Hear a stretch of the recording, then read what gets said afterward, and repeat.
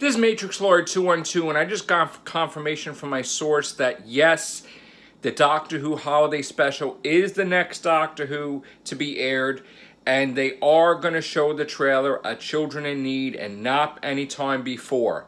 Um, so, is that exactly like I said before? I'm reiterating and saying the same thing. Also, they are filming a new block now from now until October 31st.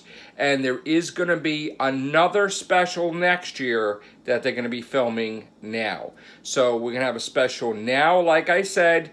Then we're going to have a tra we're going to have a trailer of Children in Need for the holiday special only. At the end of the holiday special on New Year's Day 2020, there will be a trailer for Series 12. Series 12 will be in, in Easter. and then they are filming a special now for next year, but filming for Series 13 is going to start the end of February, tentatively, not definite, all right? So again, reiterating, we're having a special this year. Just like I said, it's the first thing to air for Doctor Who. All this nonsense about Doctor Who early 2020 meant the holiday special, not Series 12, all right? We'll do Kiss on it tonight. Take care. Bye for now.